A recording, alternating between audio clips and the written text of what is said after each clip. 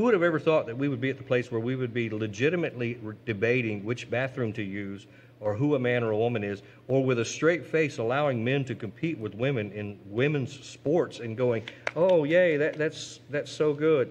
So it- we're, we're just, I'm just trying to shine some light on it, and I think the next two or three weeks are going to be very much the same. Anya said, perpetuating mental sickness. That's That's exactly exactly what it is. That's exactly- Nobody wants to call it